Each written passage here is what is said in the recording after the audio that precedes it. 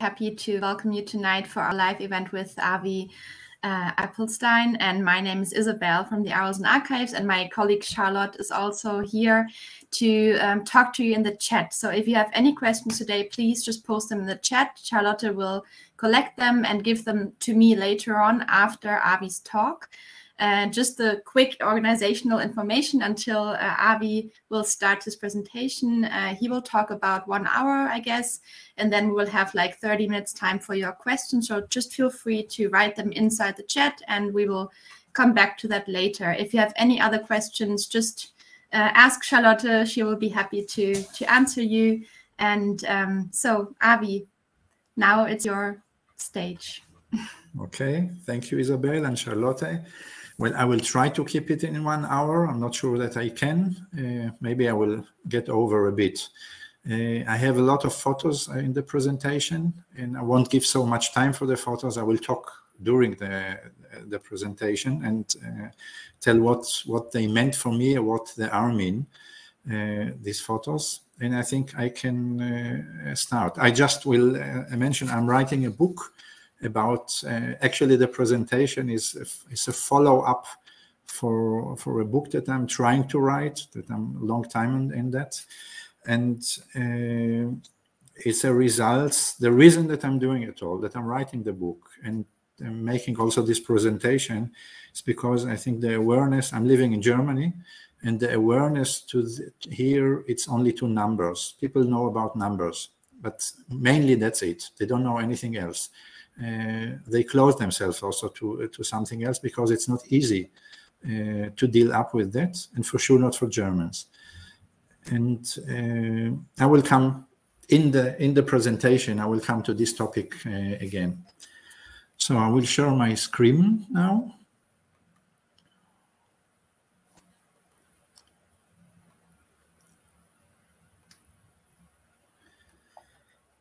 So what you are seeing now is actually a picture of my grandmother. The question, of course, how comes that my grandmother, that the picture of my grandmother is in our possession? Uh, well, the story is very simple. It's with somebody who emigrated to Israel before the war, a relative of my mother, the mother of my mother, had uh, some photos and uh, from there my mother could get it. This is the photo of my grandfather from my father's side. And that's also the question, how come that one have such a photo? Uh, I will tell you later about it. I just will give some remarks about it uh, now when I go to the next slide. This, this photo of my grandmother is came from this one. Can you see the mouth that I'm that I'm uh, moving, Isabel? Yes, yes, we can yeah, see is it. Okay, so that's the person here in the middle. That's with her family, which I don't know uh, about them anything. I don't I don't remember simply what my mother told about them. Uh, they it have to be some kind of uh, of uh, sisters and brothers or something like that, and children of of her uh, family. But I just don't have any information. On the back, there is a lot of written with tight Polish. I will send it to friends to try to um, to translate it for me. But that's the source of this pic, of this photo. That's the what I meant with the written behind it in the back of the photo. This photo was taken from this picture. This is a, a piece of a, a, newspaper. It's from a newspaper that was published sometimes in the 50s or the begin or the, or the 60s, I think. Uh, and I will tell more about this picture because it's something to do with what will come later on. That was the reproduction that was in the Yizkor book for the city of my father. I just will come back, sorry, to these two pictures, this one and this one, because it's very, very important. These photos were in the bedroom of my of my parents, and I can say that it's like a, a, a it was a kind of uh, confronting every day the Holocaust with that. For us as children, we always saw it. For them, it was the memory, and for us, it was an atmosphere. And the atmosphere was very, very uh, difficult as children. Anyway, as I I recall it like that. Uh, the atmosphere was like that. That I have a father who dealt with the Holocaust quite good, quite good. That means he could talk about it. And I had a mother who hardly uh, said anything. She told me things when I asked her directly, and except certain events that she always repeat about them. And to them, I will come. I will come later. It is like that that my father started tell me. I actually asked him, uh, and I'm not sure if he started from his, by himself or, or I asked him. He told me stories since I was 12 or so. Once a week, I think it was Thursday after a, a detective story in the radio, a radio sketch. That it, it's called Paul Temple. Maybe some of you know them. After that, when it was finished, my father was sitting with me and telling stories uh, from his experience in the concentration camp. And of course, I'm very, very, very sorry that I don't have any uh, recording of that. I have to trust my memory about it when I asked him sometimes about uh, his experience in, in, with his parents, about his youth, he started always crying. He just couldn't. He just couldn't bear the memory. That's the memory that he couldn't take. The, the, the loss of what he, he couldn't take. The memories of the from the concentration camps were sometimes like uh, yeah hero stories that's one that was my experience with that now we are talking about poland poland and the places where all of this take place is this where you see the uh, star of David. that's the place for my mother it's called uh, uh, it's very close to kielce kielce is the place where in 1946 where these uh, riots against Jews and uh, actually brought to that that most Jews who came back to Poland left Poland again. And that's sorry, one second. Sorry for interrupting you. Yes, Could you maybe yes. also make the picture a little bit bigger because it's it's okay. hard to yeah that's that's a lot okay. better. Thank you. Yeah. Okay. Okay. So uh, as I said, it was close to Kielce it's called Suchedniów, a small place, very small, uh, small town. And that was Olkusz. Olkusz was located a very, very convenient place. I will come to that also. The family of my mother uh, lived in Suchedniów and in Bodzentin. They are very, very close, about uh, 10 kilometers from each other. And uh, part of the family of her parents, her grandparents, were here in, Bo- in Bodzentin. Her parents were born like that, and they lived in Suchedniów. That's the, the map of Suchedniów. I don't know if they had this lake at that time. Now they have it. It's a very nice place. I've been there several times. And my mother was living on this street here, where I'm putting my the hand. This family, as I said, none of them survived. That was her, her mother, as I said. A photo of her father I don't have, but in this collection that this uh, uh, relative of her had, she had a, a, photo of her, the brother of her father. So that's her uncle, uh, Wolf. And the, the nice woman here is Rivka Lea. They were married. They were, I think he was 25, she was 22 or something like that. They also didn't survive the Holocaust.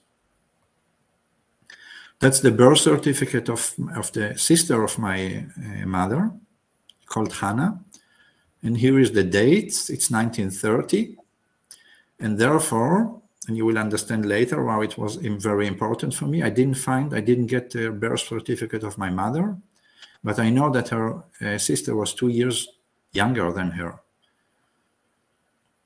That's my mother from an old, probably from the same collection. And it's unbelievable. That's why with my brothers, we argue if it is like that or not, but I'm, I'm quite sure it is like that. She is here when she is 14.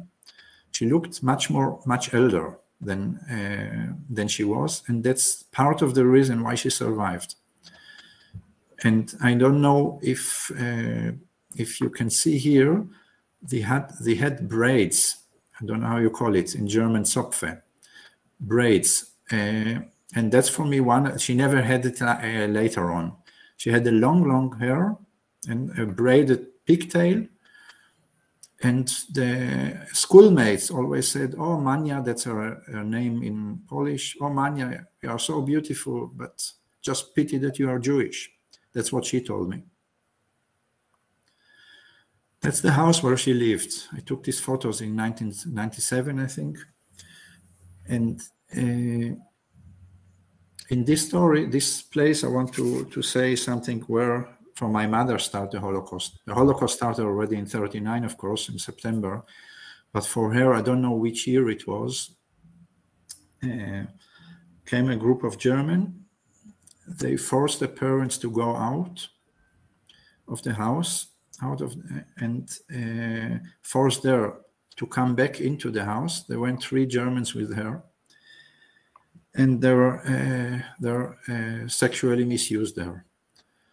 Now I asked her in one time that I dared to ask her if she was raped, and she uh, said, "No, no, no. My parents also asked me. No, no, they did nothing. It was just like uh, by the gynecologist." We're talking about 14 years old uh, so I don't know what happened to her. That's the thing that she told me again and again. When I asked her about experience that was more effective on her, lifelong, as anything else. But there was still a lot to come.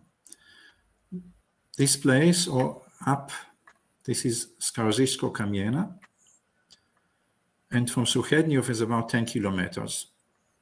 And in 1942, probably in June, she was taken from home and brought to there. Skarżysko Kamienna was a, a, a, work, a, working place of HASAG. HASAG is the Hugo Schneider uh, Gesellschaft, so it's shareholding of Hugo Schneider. We'll go back to that and uh, it was a very big factory and what they produce is ammunition and uh, the first thing that she what happened when she came to the uh, to this concentration camp and that's the other scene that she told me only once. First the hair was cut off totally. That was for her her first shock there. And secondly her mother gave her for the way a pillow. And this pillow was uh, stolen in the first night. So she had actually nothing, no relatives, no hope. And from time to time, I will put also the stuff that were working there. These are Germans. It's from uh, from earlier time. It's from 1940. When they are there, they are quite proud of what they are doing. You see, they play here with an accordion so on. They had, in certain way, good life. There are many Holocaust photos where the staff of concentration camp celebrate. In Hasag, there were three uh, three camps actually. This this is the small small one, Werk B. It's the second the second one. They produce a certain kind of ammunition.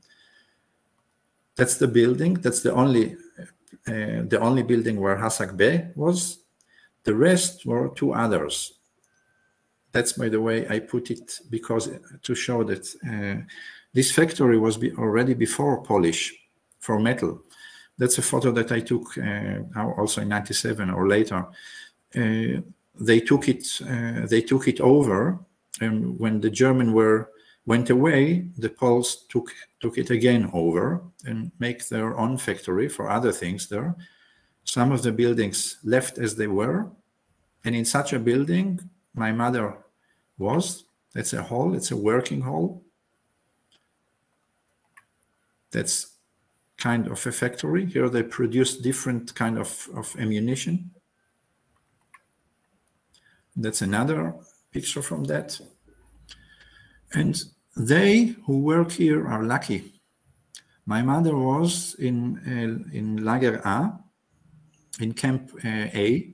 In Camp A, uh, you had actually the lightest, uh, the lightest job, the lightest uh, things to do. Her job was there to look. There was a long, long table with a mirror and all the production of uh, uh, ammunition was rolling there and she had to see that there is no ditch or anything like that anything that can block the the rifles then and i asked her at one time tell me did you sabotage or anything she, she looked at me as i'm not i'm not coming from this world because uh, you could be easily at the moment that you are, did anything wrong you will send to camp c and Camp C was a place where they uh, had to mix to to uh, to mix the different ingredients to create it, to create TNT.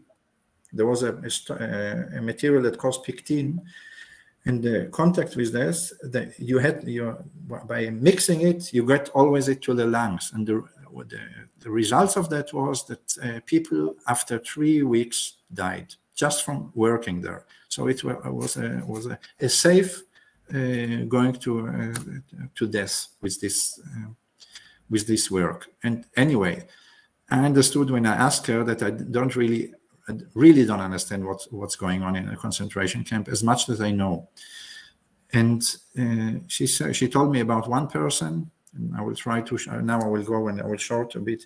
Uh, his name was Krause, he was thinking and he was a veteran from another from the war and he had a, a, a stock a stick and whenever he thought that you are too slow or whatever he didn't like you you got a hit from him so that was the daily life daily, daily life was 12 hours uh, uh, shift and the shift could be in night or day this is not what my mother had because she couldn't leave the camp but this for people who were working there. There were Poles who could work there, and they had something like that. That's that was uh, they, they, that's uh, evident that they can work in the night uh, in the night shift.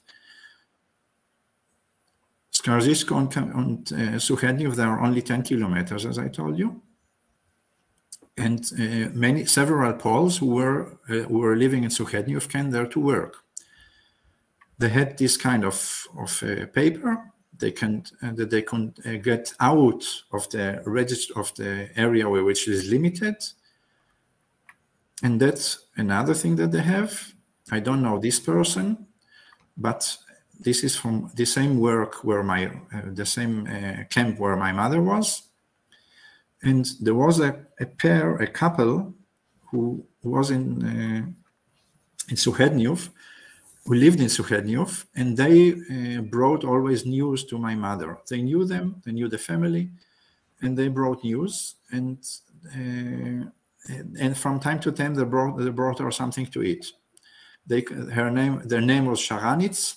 It's important for me to say things like that because uh, I think that these people are uh, always are worth to be mentioned.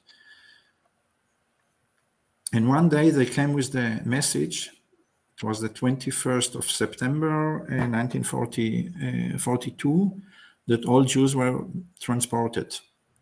That was the eve of Yom Kippur, or Yom Kippur, I'm not sure. And where they were transported was to here. You can see it's 250 kilometers with the train. It could be, but take a day long.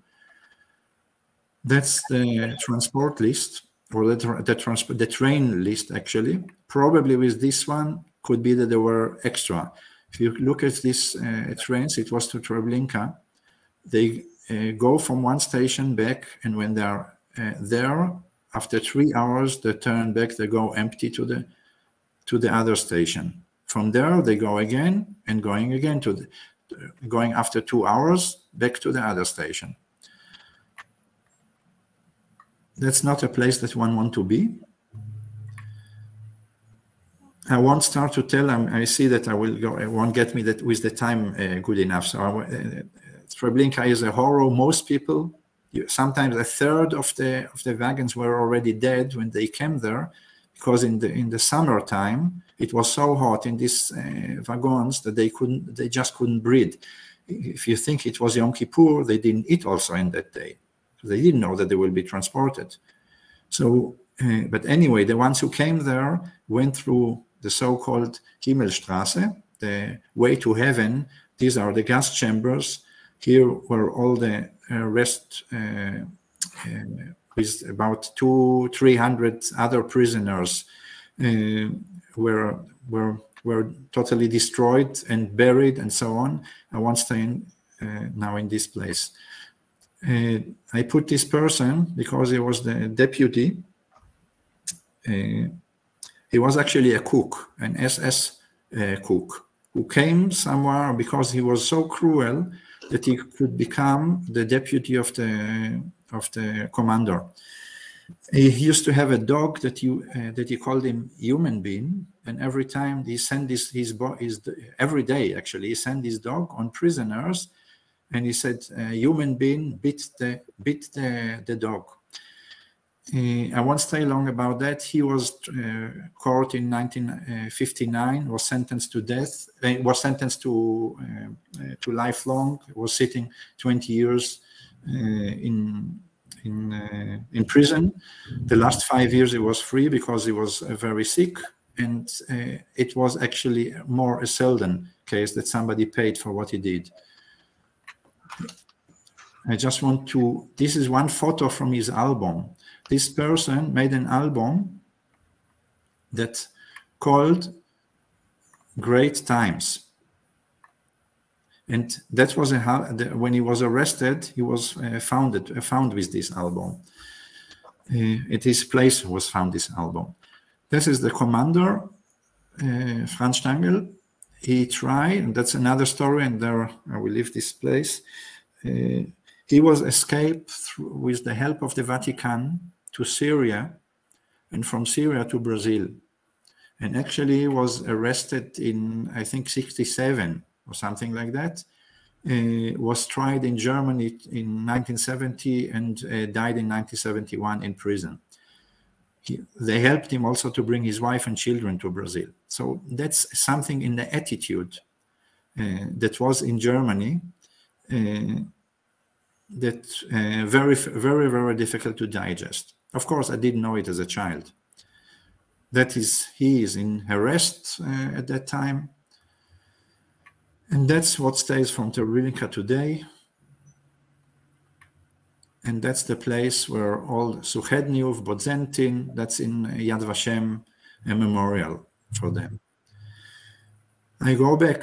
My mother uh, lived at Skarżysko Kamienna and go, I don't know how, probably with a train. It's probably August uh, 44 because the uh, Russians because it's too risky for them to stay there. For the Germans, not for the Jews, they bring them to Częstochowa. It's a very similar. It's the same aim. They they have also. It's also a Hasag. Hasag factory. They are called also Hasag Juden, the Jews of Hasag, and that's the where the camp is. And that's the most interesting uh, things. I found it to first in, in the Warsaw Archive, that's her registration card. And what's interesting for me is her date of birth. The month is correct, but she is four years older than she is. And as I said, she was born in 28. She looked much older. So she could put, and I'm not sure that she, I asked her once if she, uh, if she, uh, if she told something like that. She, she said, of course not. I don't, I never lied to them. I, it's either she did it instinctively or somebody who registered her uh, thought that knew already that what can save her. So he wrote 1924. Uh, she's working in, in certain ammunition uh, uh factory there or, or, or, company, not company, a, group, the group. The, and that's again where they were in Częstochowa. That's how this looks like and that's indeed originally a photo from there.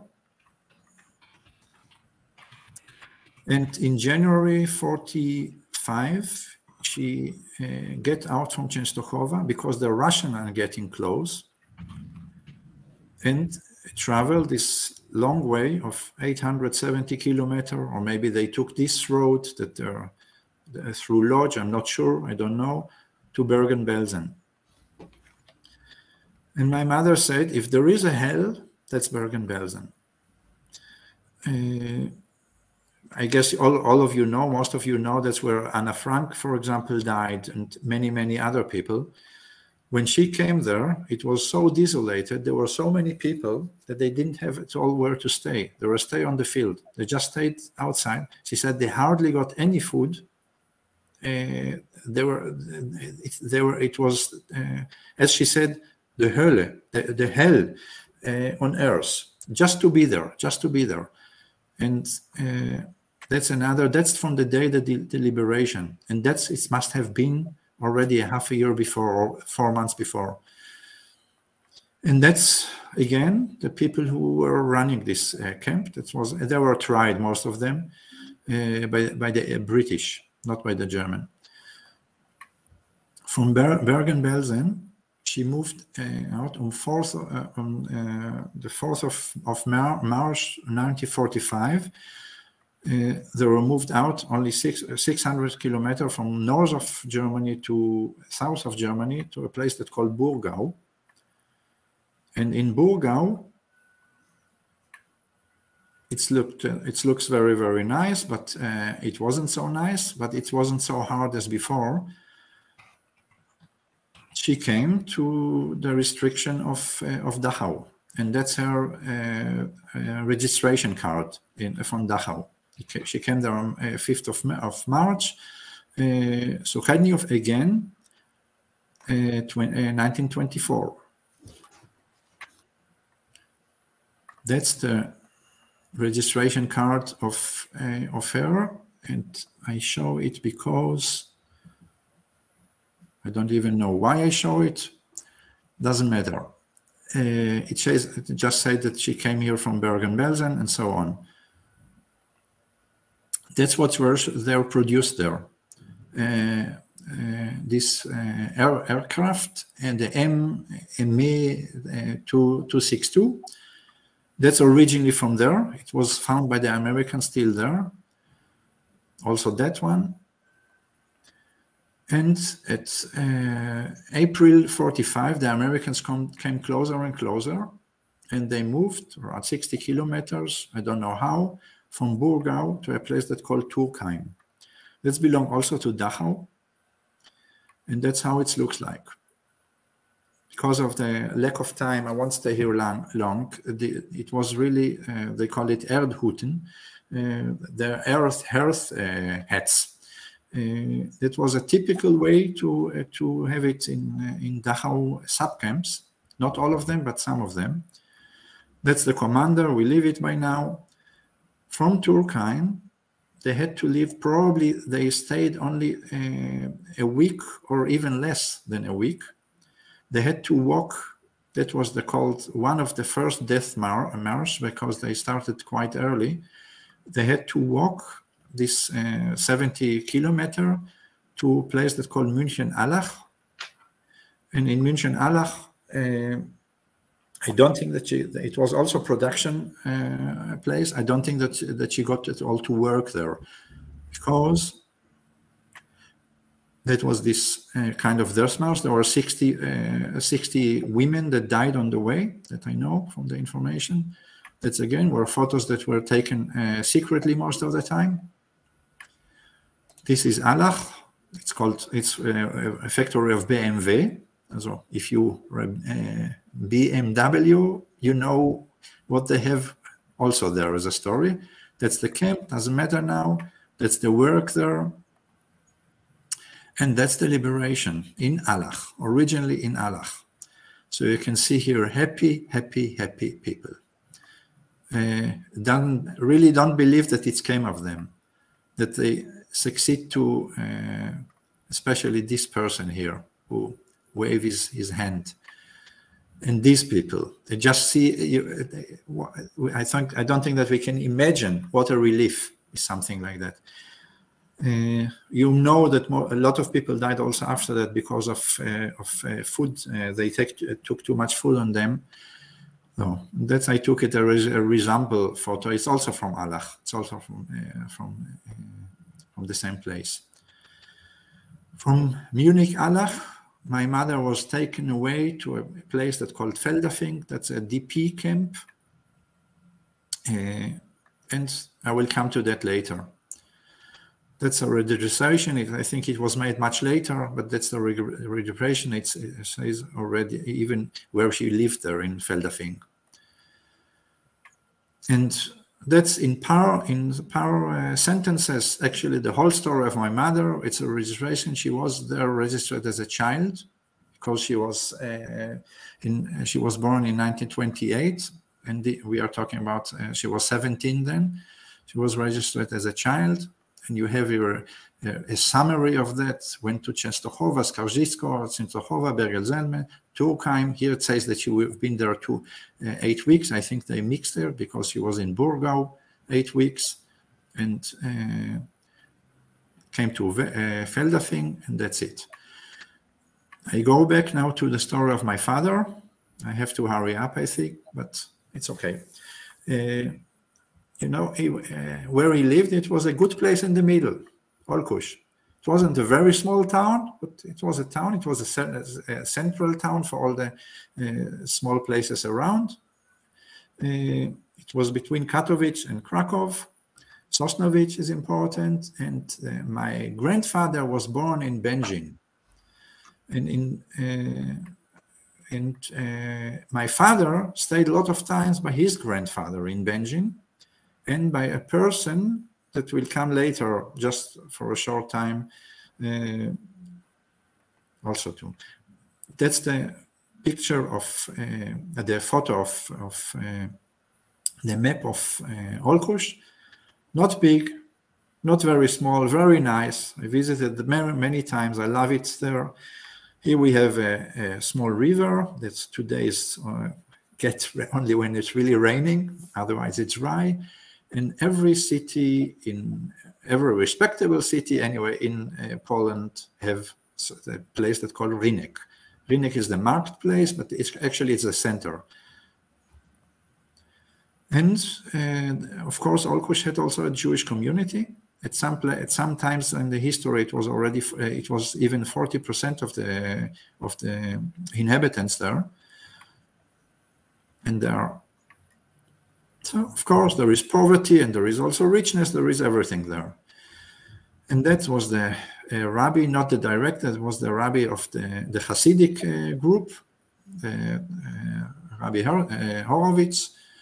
And that's again, his photo was very respectable, very known.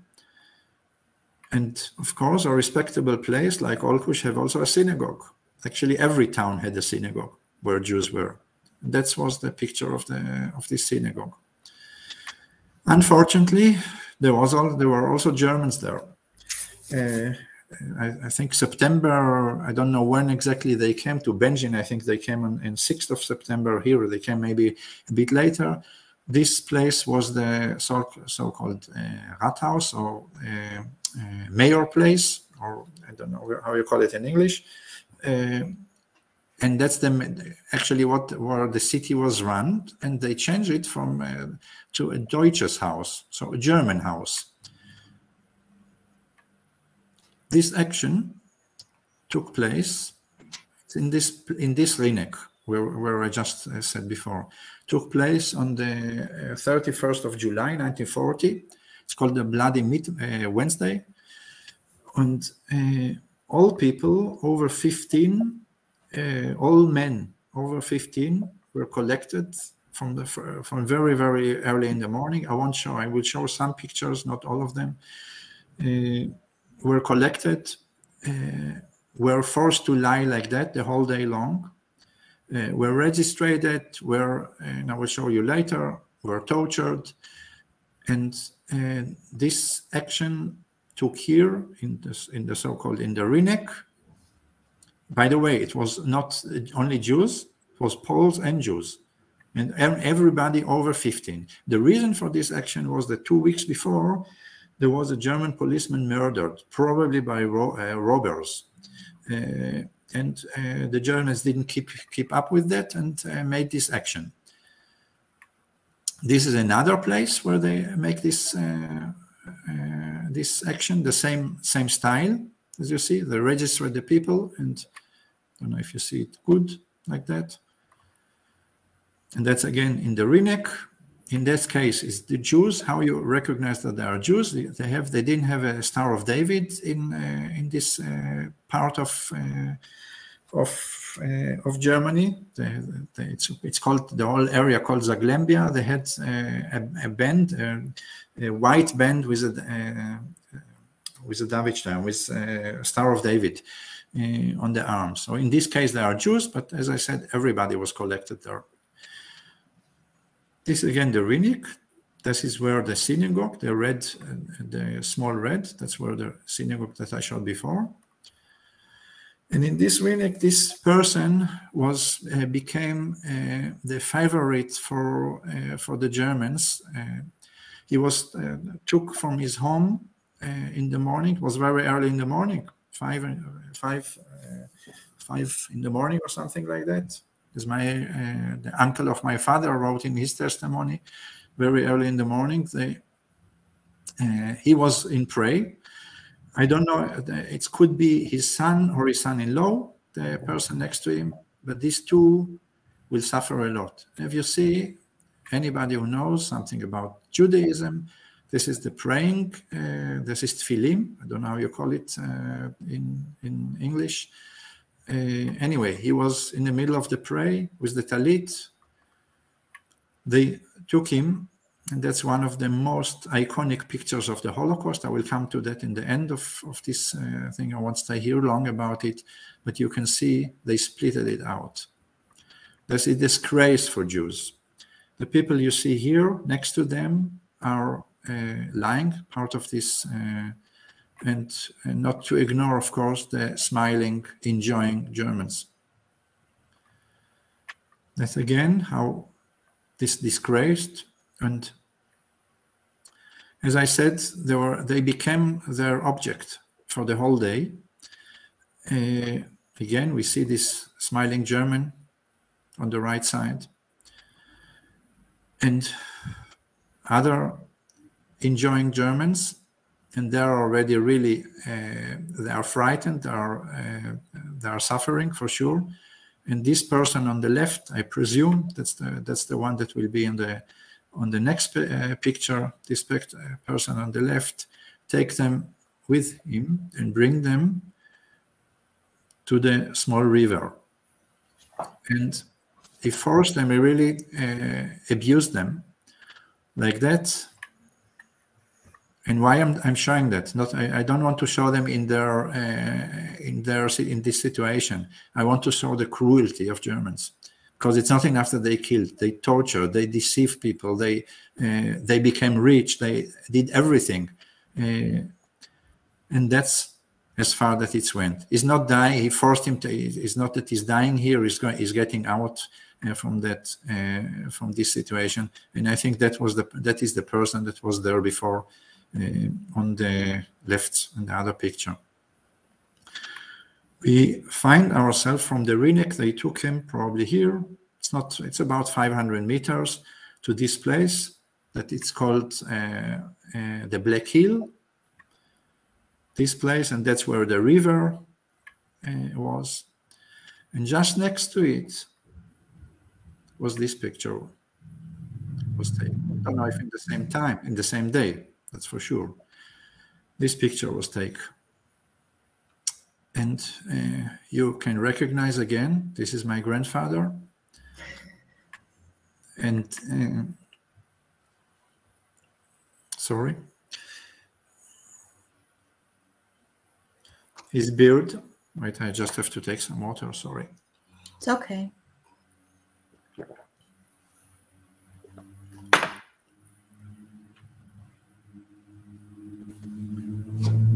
Beard being cut off. If that will be the end of the Holocaust, so okay, we can live with that. If this day on the on the 31st of uh, of July 1940 will be the end of the Holocaust, okay. Uh, but that was only the start. Anyway, his beard is cut is cut off. Uh, he was forced. If you saw before, Germans to uh, that amuse themselves. Here you can see Jews that are either frightened or they hate the furious. If you see the person in the in the right side here, is just furious. And this uh, uh, person Zil, Zilberstein, I think, or Zilberstadt, I'm not sure his, his name right now. I don't I don't recall. Uh, is forced to do it. All of them are working in the meat industry. What is the meat industry? My grandfather had uh, was a, a kosher a butcher. Butcher. It's called shochet in Hebrew. So he was uh, he was the one who actually make the ritual uh, killing of of uh, of the animals that we eat, which we all eat. At that time, that's the ritual in, in Judaism. It's a lecture by itself. We leave it by by by side. All of them are in this uh, person. He was the the shochet, the, the and he was beside that a mohel. Mohel bedeutet he was the one who were circumcised, circumcises the the small, uh, the, the, little youngs, the, the little uh, babies. Again, the tradition in uh, in Judaism. And his, what my father told me, he was also Dayan. Dayan is a uh, ritual a ritual judge. Uh, anyway, he's on the payroll of the of the community for his job as a shochet, as a as a ritual uh, slaughter. Every uh, community in in a religious community cannot exist without that, without uh, without having a, a ritual uh, uh, uh, a ritual butcher uh, who take care that, that that it's happened according to the kosher to the kosher ways. My father probably liked Germans very much because that's the, the, his signature on the birth certificate of my uh, of my father. And if you can read German, he doesn't write Appelstein at his as his name. He writes Apfelstein which means apple stone. Yeah? So, and he changed his name, or I don't know if he changed it officially. He didn't change it officially, but that's the way that he adopted to, to write it in the German way. He acquainted probably also Germans in Będzin because, he was grew up there and he knew them, but uh, he was found with the Germans. That's the. My father didn't have a graveyard, of course, because he died. I will show you later. Uh, that's the graveyard of, of his father-in-law. He was also a shochet, also a ritual slaughter. He was very educated, otherwise he wouldn't have these six book books. That that's the six books of the Mishnah, and that's the knife of that one uh, make the circumcision. And that's the situation of the cemetery in Olkusz. Uh, I want to keep. Uh, now it's in better uh, shape. If it if it's better, it's another question. Uh, that's the the graveyard, the, the gravestone of my uh, grand grandfather, grand grandfather, yeah, and uh, Yaakov Kalikstein. I'm jumping 19 September 1941 the Germans decided that will, there will be a ghetto. It was an open ghetto, so uh, not, not with uh, not with a fence or anything like that, may, but uh, with guards on uh, different places. And that was the, the, they had to move from where they lived. If you have luck, you were in the place where the, the ghetto was, and if not, you have to move. The Poles that were living in the area of the ghetto had to also to leave their place. So uh, they made a, an exchange that nobody was happy about it, but they had to. That was the area of the ghetto. If you see here, uh, it's quite, uh, it's not very big, but here my father was living on this street here before, so he had to move. He had to move uh, there. Here is the Rynek.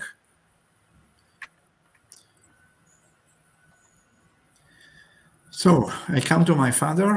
before uh, he was uh, kidnapped in the ghetto on the street on the 13th of April 1942.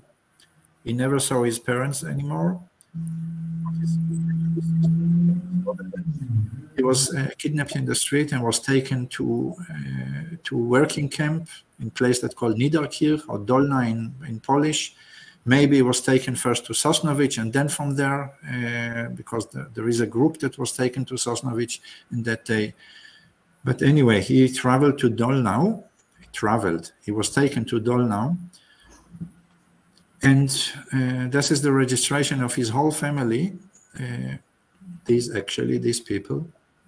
He, as I said, he, he never saw anybody uh, anymore again. That's the, from the book, uh, from the. Uh, so I will, I will see. I have to run with the time. I don't know if I will succeed it. Uh, this is a, a, photo of the of the gathering in between the 10th of and the 15th of uh, of June. That means two months later. Uh, all the Jews of uh, of uh, Olkusz were collected. There were about 3,000.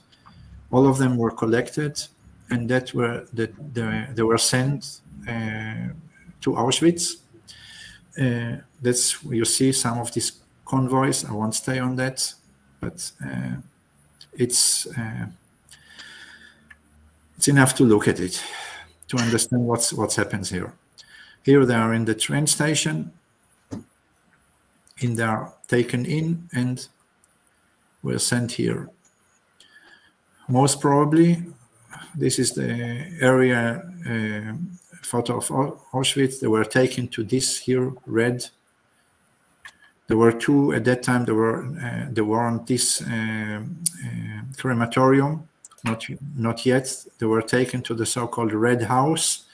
It was the first crematorium in in uh, in uh, Auschwitz in Birkenau they were taken first to the train. There were also no uh, trains that came uh, right into Birkenau. It was built more uh, later in 44.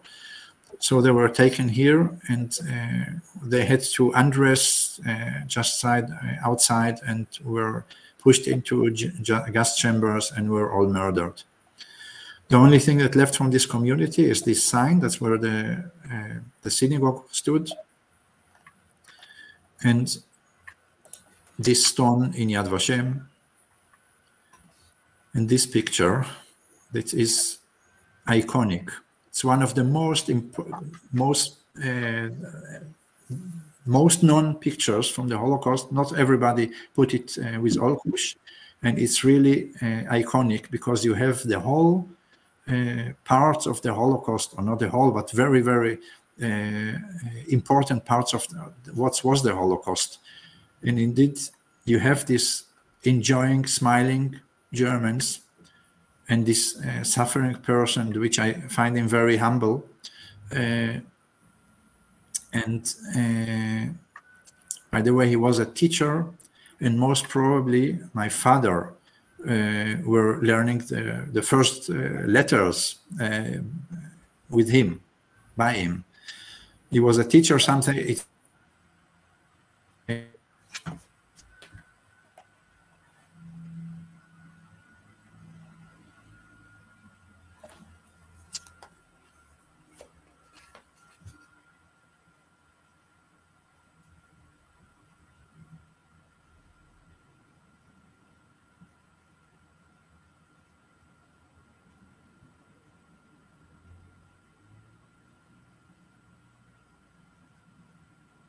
if anybody were in the night.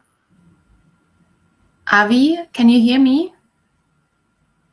Because we have problems um, hearing you at the moment.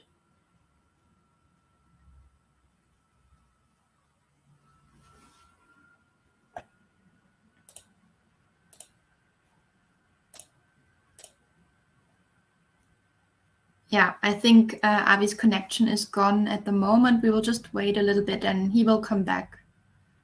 Thank you, everyone, for your patience. And uh, as we said before, um, Charlotte will collect all your questions and we will give them to Avi after um, he has finished his talk. So we'll just wait a minute until he's back. By the way, I'm happy to see that our uh, speakers who had presentations here before, uh, Mendel and Abe, uh, are here. So welcome back. Very good to see that you're here as well. Thank you.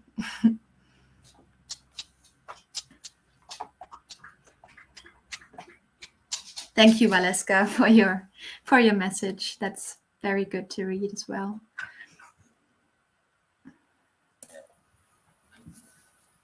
I started collecting quite a few questions already. Thank you so much for participating in this way as well. And um, I posted the link to our inquiry page because I see that there are many um, second or third generation um, people uh, joining us tonight. Uh, if you haven't uh, researched the Arolsen archives, there are two options, of course. There's the online archive.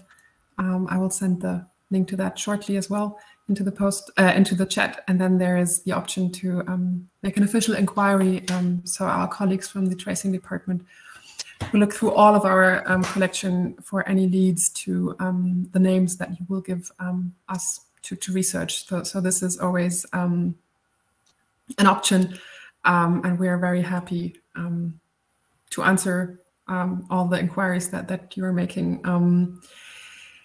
Uh, yes also, this is some good news from the tracing department. Um, a few years ago, the list um, of the inquiries was very long and it took us quite a while to answer those uh, inquiries. Uh, we're down to a few weeks now, so um, you don't have to wait uh, for an answer from the Arolsen archives anymore. Uh, not not as long anymore um, as you might did back in the 90s or 2000s. So. And what we can also maybe say is that not all names are or can be found yet in the online archive. So it's always also good to just send us an inquiry because there you might be able to get more documents than you can find in the online archive. But we're working on it. Um, so yeah, that hopefully everything will be online soon as well. Uh, there's one question about um, the recording in the chat. Um, whether the questions can also be seen. I mean, the questions will, of course, be um, part of the recording as well, in the sense that um, we will be giving them to um, Avi um, after the talk, but um, after his presentation. But I'm not sure if the chat is part of the recording. Isabel, you know that? No, it, it's not. You cannot see it later on in the recording. Um, I will just log into my email to see if Avi is saying anything because at the moment he uh, seems to have problems with his connection. Just give me a minute.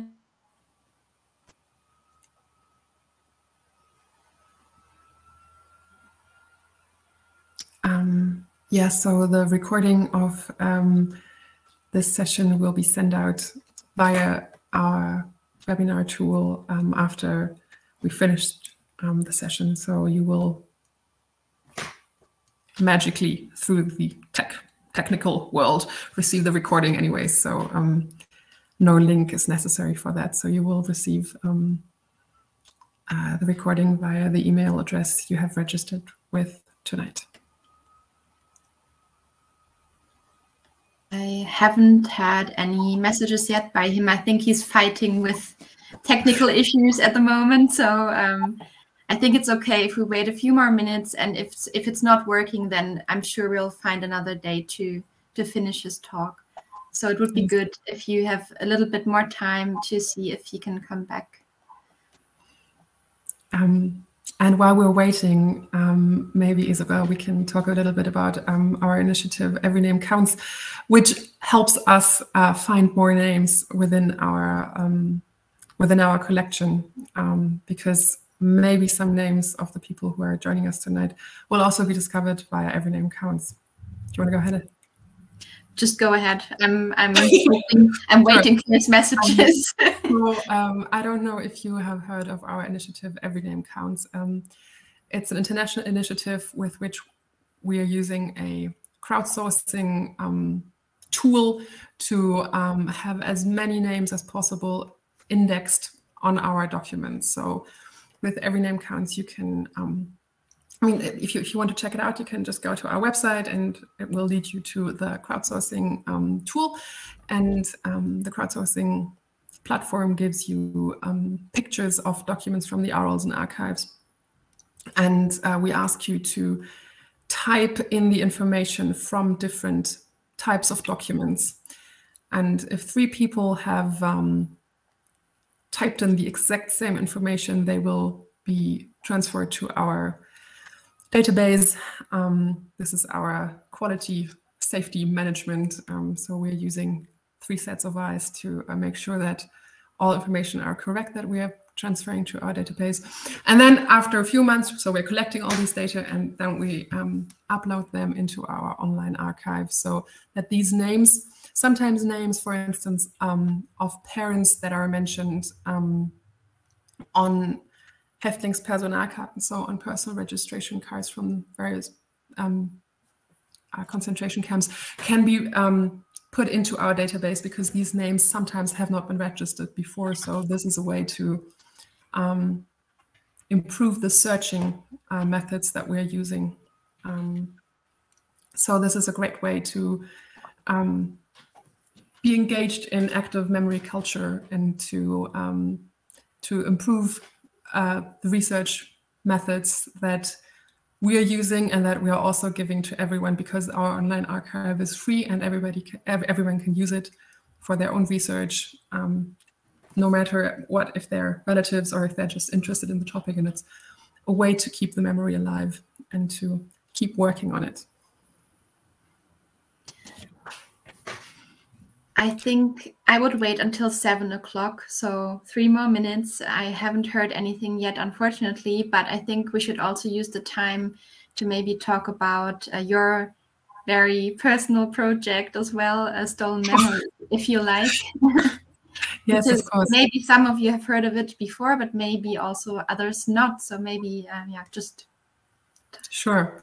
Um, yeah, Isabel has called it uh, my personal um, project. It's it's a project that I've joined about two years ago, and I'm now um, I'm the project manager now of this um, and Archives project. It's called Stolen Memory, and it's about a very specific part of our collection, which isn't really part of our collection, to be quite honest, because um, we hold in our holdings the personal items of about 200, uh, 2,500 uh, concentration camp inmates. These are personal items such as wedding rings, photographs, wallets, um, documents, um, things that these um, people wore on their body while being arrested by the uh, by the Nazis. Um, and this collection derives from the Neuengamme concentration camp mostly. Some items are from Dachau. And um, together with volunteers from all over the world, we're looking for the families of these um, of these former inmates to return these very personal items to the families um, of the persecuted. So um, in 2016, we started with this project. Um, and since then, we've found um, about 650 families all over the world. Um, and we're able to return these very personal items, often the mementos of people who weren't able to leave anything behind apart from these items, which are now coming back to the families more than 75 years after the war. So this is a very special project. Um, we're doing various um, exhibitions on on stolen memory in Germany. We're traveling with traveling exhibitions throughout Germany. So if you're in Germany, check out the stolenmemory.org website. I will also post the link uh, in the chat. Um, if we're close to you, we're also traveling through Poland and um, Belgium, and many more countries are to come because it's a it's a very um, it became a very popular project of the Arolsen Archives, and many towns want to show the exhibition. So this is um, great for us, and we're and especially great for the families of the victims because we're finding more uh, families through the exhibitions. We're finding more volunteers to um, to join the campaign and to um, look for families. Thank you. So, do you have a number of of Avi to maybe call him? Unfortunately, not. And um, I guess we have to find a second part or give you a second another day to finish the story because I know that he told me that like he wanted to talk about his mother, his father, but of course then about his own life and the ones of his uh, siblings and how they dealt with the experience of um, of their parents that survived the Holocaust. So unfortunately, we didn't hear that yet. And he also wanted to talk about people who um, were like pioneers to talk about what had happened and to to teach about it. So unfortunately, I think he is not coming back right now. I didn't get any message yet. I think his internet is just gone. So I'm very sorry. This has never happened before that we have to stop at this point. But as you have all registered, I have your email addresses. We will just send you um, another date and we will organize it pretty soon. So I hope that you will all come back and thank you very much for your messages. Uh, I really appreciate that. And I will also give them to Avi so he will, um, I'm sure he will be back and he wants to carry on and tell the rest of the story. So hopefully um, see you very soon. And we are also saving all the questions. So we will come to them uh, the next time. Thank you very much and hopefully see you soon. Bye bye.